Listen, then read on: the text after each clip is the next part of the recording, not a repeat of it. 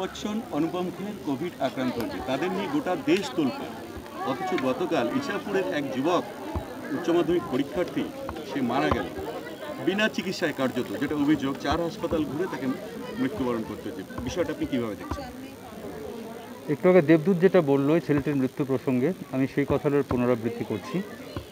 এটা এটা কোনো ব্যতিক্রমী ঘটনা নয়। আপনার মনে থাকা উচিত যখন হাওড়া হসপিটালকে বন্ধ করে দেওয়া হলো।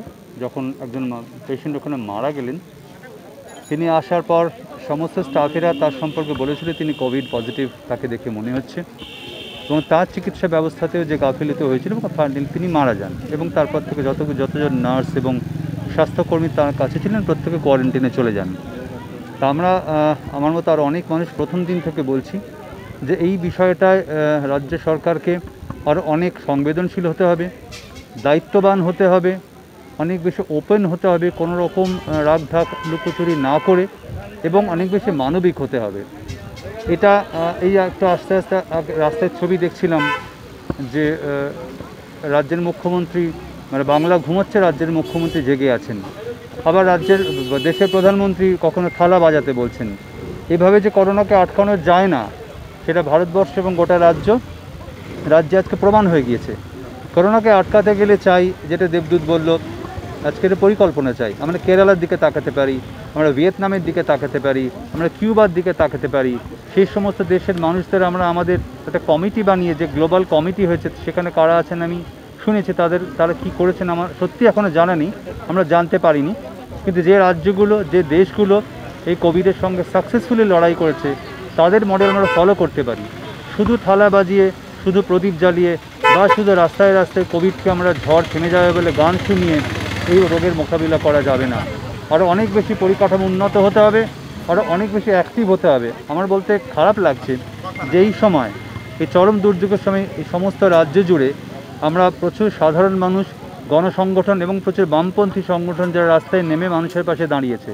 সেখানে আমরা প্রত্যেকদিন রাস্তায় রাজ্যের এত বড় মন্ত্রিসভা, তার কতজন মন্ত্রীকে দেখেছি আমরা? কতজন নেতাকে দেখেছি আমরা, কোন রাজ্যের, কোন অঞ্চলে কত দিন ধরে তারা রাস্তায় পড়ে আছেন এবং কত মানুষকে তারা পরিষেবা দিচ্ছেন? এর থেকে সরকারের অ্যাঙ্গেলটা খুব স্পষ্ট। যদি সত্যি তারা দায়িত্ববান হতেন, তাহলে এই মুহূর্তে গোটা মন্ত্রিসভার রাস্তায় থাকার কথা ছিল। প্রত্যেকদিন তাদের আমাদের দেখতে পাওয়ার কথা ছিল। তাদের গাড়ি আছে, তাদের পুলিশ আছে, তাদের নানা ভাতা আছে, তাদের নানা নিরাপত্তা আছে। তারপরেও তারা বাড়ি থেকে বেরোতে পারেন না।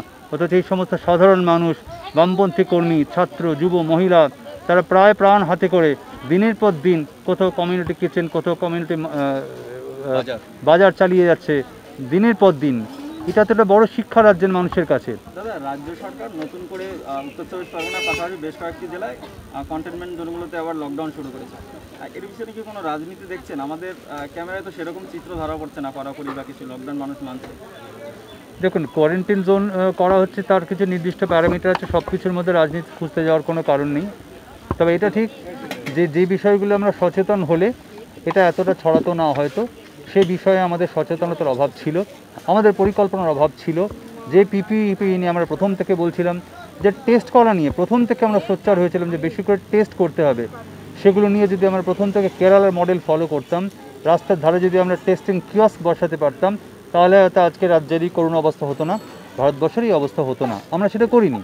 আজকে কোয়ারেন্টিন করতে বাধ্য হচ্ছে লকডাউন করতে বাধ্য হচ্ছে, কারণ সত্যি আজকে অবস্থা খুব খারাপ। এবং সরকার মেনে নিয়েছে এক প্রকার যে এটার সঙ্গে মানুষকে প্রায় সহবাস করতে হবে। এই, এটা সরকারি স্টেটমেন্ট তাই এখানে, এখান থেকে বুঝতে পারি যে রাজ্য ঠিক কোন অবস্থায় পৌঁছে গিয়েছে। তাই আজকে এই মুহূর্তে সাধারণ মানুষ যদি নিজের দায়িত্ব নিজের কাঁধে তুলে না নেয়, তাহলে কিন্তু মানুষের সামনে সত্যিই খুব একটা ভালো সময় নয়। তবে আমি বলব হ্যাঁ অকারণ ভয় পাবেন না। কোনো রকম আতঙ্ক সৃষ্টি না করে, গুজব না ছড়িয়ে একদম ডাক্তাররা যেটা বলছেন, যারা শিক্ষিত ট্রেন ডাক্তার, তারা যেটা বলছেন, তাদের কথা ফলো করুন এবং ডিস্টেন্সিং মেনটেন করুন মাস্ক ব্যবহার করুন, হাত পরিষ্কার করে ধোবার চেষ্টা করুন। দেখবেন আমরা এই লক্ষ্যের সাথে অনেকটা লড়াই করতে পারব। একটা প্রশ্ন এখানে বামফ্রন্টের উদ্যোগে প্রায় একশো একদিন ধরে একটা গণ রন্ধনশালা চলছে। কেন মানে রাজনৈতিক দলকে করতে হবে কেন? সরকারের কি এখানে কোনো খামতি আছে বলে মনে করেন যে সরকারি উদ্যোগেই এগুলো হওয়া দরকার এটা তো মনে করার কিছু নেই। একটু আগে দেবদূত বলছিল সত্যি তো মানুষের হাতে যদি টাকা পৌঁছে দেওয়া যেত তাহলে বাজারটা তারা নিজেরা করে নিজেদের বাড়িতে রান্না করে খেতে পারতেন। দুমুটো ভাতের জন্য এভাবে লাইন দিয়ে তাদের দিনের পর দিন দাঁড়াতে হতো না। সরকারের কাছে চিত্রগুলো খবরগুলো আপনাদের মাধ্যমে পৌঁছানো উচিত যে এত এত মানুষকে সরকার প্রত্যেকদিন চিৎকার করে যে বলছেন বিভিন্ন প্রেস কনফারেন্সে মানুষের জন্য এই হচ্ছে সেই হচ্ছে এই হচ্ছে সেই হচ্ছে মানুষ অনেকে দারুণ আছে। তাই এত এত হাজার হাজার মানুষ গোটা রাজ্য জুড়ে যারা প্রত্যেকদিন লাইন দিচ্ছেন, এই কমিউনিটি কিচেনে কমিউনিটি বাজারে লাইন দিচ্ছেন, তারা কি এখানে শখ করে আসছেন? তারা কি এখানে বেড়াতে আসছেন? নিশ্চয়ই নয়। তাহলে মানুষগুলো যদি খাবার দুমুঠো পেতেন, তাহলে নিশ্চয়ই এভাবে দিনের পর দিন এখানে লাইন দিতেন না? তাহলে আপনাদের মাধ্যমে চিত্রটা সরকারের কাছে যাক এবং সরকার রিয়েলিটি বুঝুক যে মানুষ খুব ভালো অবস্থায় নেই।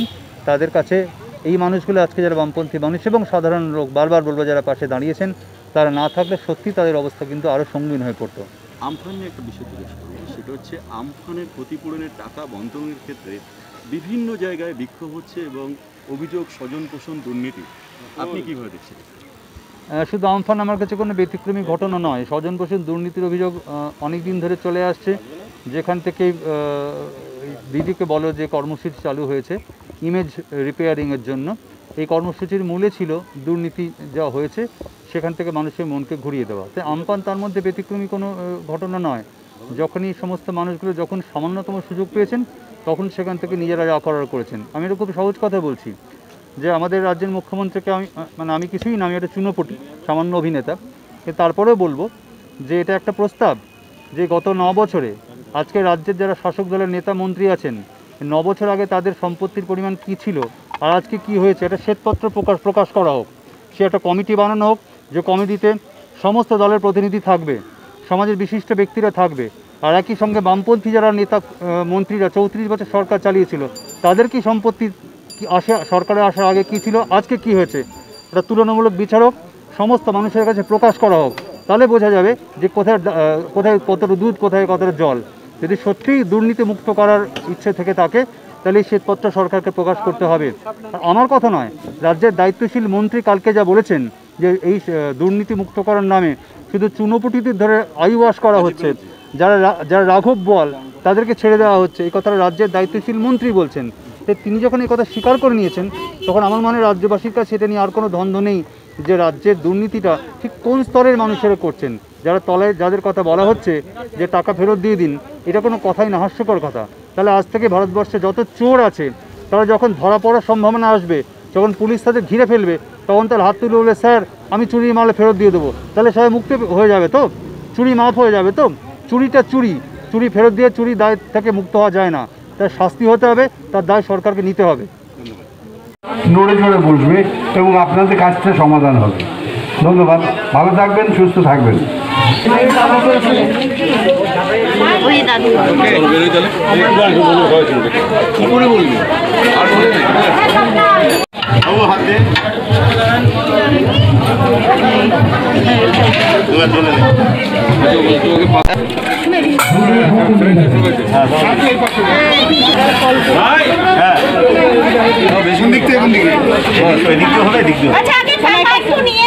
কাকাকে দাও। দাদা আপনি এইদিকে চলে একদম ভাগ বলে দেবেন আমি বুঝতে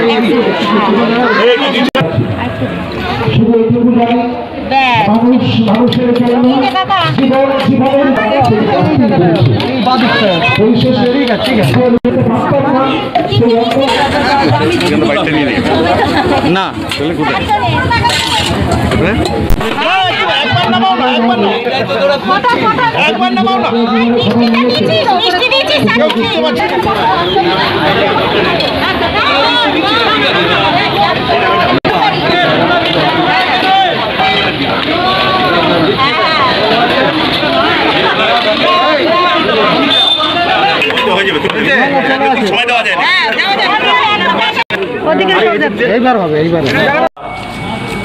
খাবার গ্রহণ করবেন তাদের।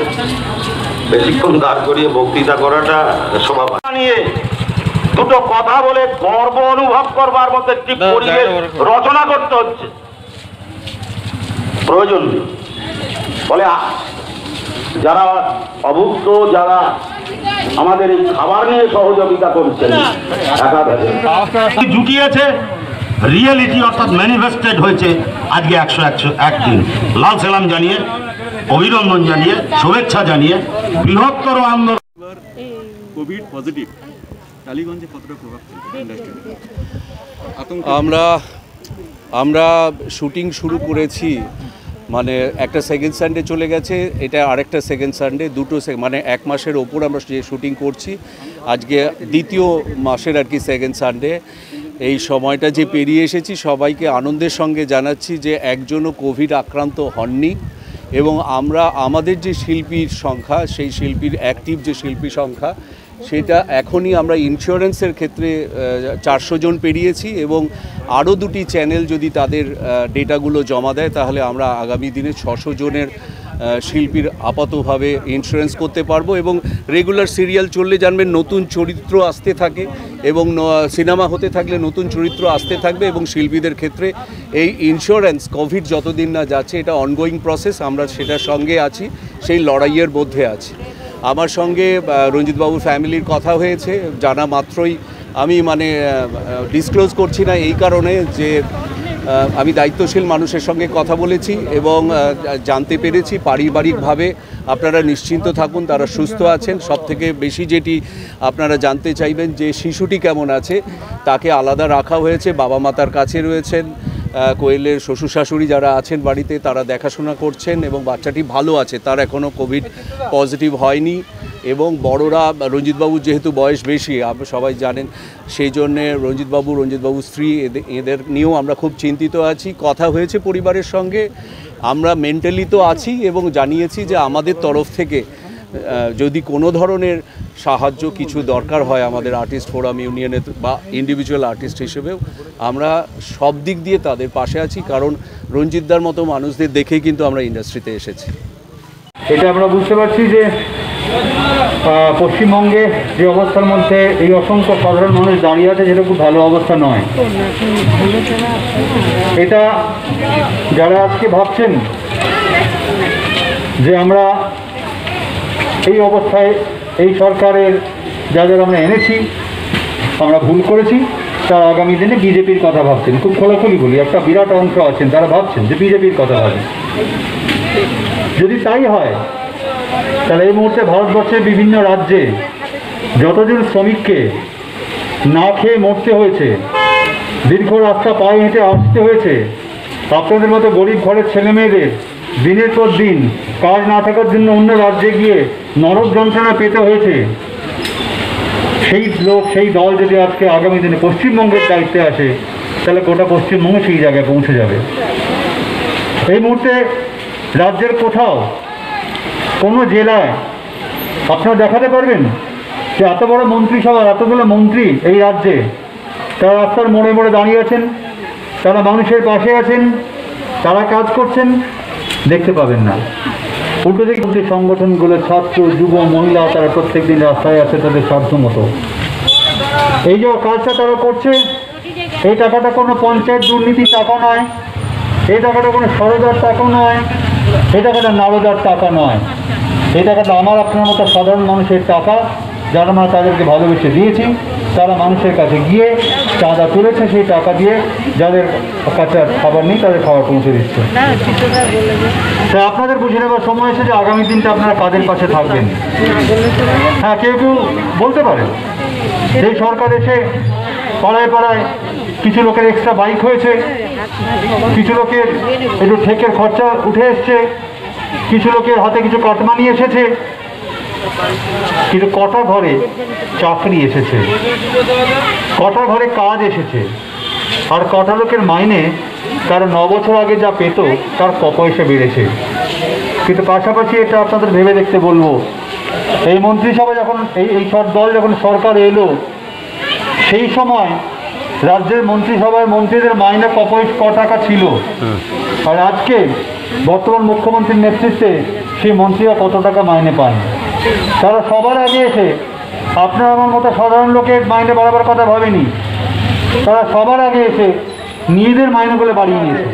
এত এত সাধারণ লোক, তাদের ঘরে পাঁচ হাজার টাকা দেওয়ার টাকা নেই। আর দু টাকা কিলো চাল, এই দু টাকা কিলো চাল দিয়ে গোটা পৃথিবীতে দু হাজার বার করে বলে বেড়াচ্ছেন যে আমরা দু টাকা কিলো চাল দিই। কিন্তু কখনো ভেবে দেখছেন না, যে থেকে লজ্জার আর কিছু হতে পারে না? প্রথম কথা, চালটা আপনি আপনাদেরকেও দিচ্ছেন না। ওই পুরো টাকাটা, পুরো অর্থটা আমাদের টাকা। আমরা সাধারণ মানুষ, আমরা টাকা দিই, সেই টাকায় আপনারা চাল কেনেন, সেই টাকায় চাল দেন। আর তার থেকে বড় কথা, তার মানে আপনার রাজ্যের মানুষের অবস্থা এখন এমন যে দু টাকা চাল না দিলে সে আর খেয়ে পড়ে বাঁচতে পারবে না। আপনি তাকে এই অবস্থায় নামিয়ে এনেছেন। কেন থেকে দু টাকা কেজি চালে বাঁচতে হয়? যে চালটা আপনারা তাকে দেন, সেই চালটা আপনারা বাড়িতে খেতে পারবেন? আপনার বাড়ির মা, বাবা, ভাই, বোন, পুত্র, কন্যা তারকে ওই চালটা খান। ওই চালটা তারা মুখেও দেবেন না। অর্থাৎ ওই চালটা আপনারা গরিব মানুষকে দিয়ে গোটা পৃথিবীময় বলে বেড়াচ্ছেন, আমি না দু টাকা কেজি চাল দিচ্ছি। আপনাদের লজ্জা হওয়া উচিত। আপনার নিজেদেরকে তাকানো উচিত। যে গরিব মানুষকে ব্যবহার করে, তাদের আবেগ ব্যবহার করে আপনার ক্ষমতায় এসেছেন, তাদের জন্য আপনি বিশেষ কিছু করেননি। কিন্তু উল্টো দিকে, যে দাবি আমি বারবার তুলছি, আবার এখানেও তুলছি। এই ন বছর এই সরকার ক্ষমতায় আসার পর এই আপনাদের নেতা মন্ত্রীরা তাদের কি সম্পত্তি ছিল সেদিন? ক্ষমতায় আসার আগে রাজকে তাদের কি সম্পত্তি হয়েছে তার শ্বেতপত্র প্রকাশ করা হোক। টাকা আছে। অথচ এত এত সাধারণ লোক, তাদের ঘরে পাঁচ হাজার টাকা দেওয়ার টাকা নেই। আর দু টাকা কিলো চাল, এই দু টাকা কিলো চাল দিয়ে গোটা পৃথিবীতে দু হাজার বার করে বলে বেড়াচ্ছেন যে আমরা দু টাকা কিলো চাল দিই। কিন্তু কখনো ভেবে দেখছেন না যে থেকে লজ্জার আর কিছু হতে পারে না। প্রথম কথা, চালটা আপনি আপনারা কেউ দিচ্ছেন না। ওই পুরো টাকাটা, পুরো অর্থটা আমাদের টাকা। আমরা যারা সাধারণ মানুষ, আমরা টাকা দিই, সেই টাকায় আপনারা চাল কেনেন, সেই টাকায় চাল দেন। আর তার থেকে বড় কথা, তার মানে আপনার রাজ্যের মানুষের অবস্থা এখন এমন যে দু টাকা কেজি চাল না দিলে সে আর খেয়ে পড়ে বাঁচতে পারবে না। আপনি তাকে এই অবস্থায় নামিয়ে এনেছেন। কেন থেকে দু টাকা কেজি চালে বাঁচতে হয়? যে চালটা আপনারা তাকে দেন, সেই চালটা আপনারা বাড়িতে খেতে পারবেন? আপনার বাড়ির মা, বাবা, ভাই, বোন, পুত্র, কন্যা তারকে ওই চালটা খান। ওই চালটা তারা মুখেও দেবেন না। অর্থাৎ ওই চালটা আপনারা গরিব মানুষকে দিয়ে গোটা পৃথিবীময় বলে বেড়াচ্ছেন, আমি না দু টাকা কেজি চাল দিচ্ছি। আপনাদের লজ্জা হওয়া উচিত। আপনার নিজেদেরকে তাকানো উচিত। যে গরিব মানুষকে ব্যবহার করে, তাদের আবেগ ব্যবহার করে আপনার ক্ষমতায় এসেছেন, তাদের জন্য আপনি বিশেষ কিছু করেননি। কিন্তু উল্টো দিকে, যে দাবি আমি বারবার তুলছি, আবার এখানেও তুলছি। এই ন বছরে এই সরকার ক্ষমতায় আসার পর এই আপনাদের নেতা মন্ত্রীরা তাদের কি সম্পত্তি ছিল সেদিন? ক্ষমতায় আসার আগে রাজকে তাদের কি সম্পত্তি হয়েছে, তার শ্বেতপত্র প্রকাশ করা হোক।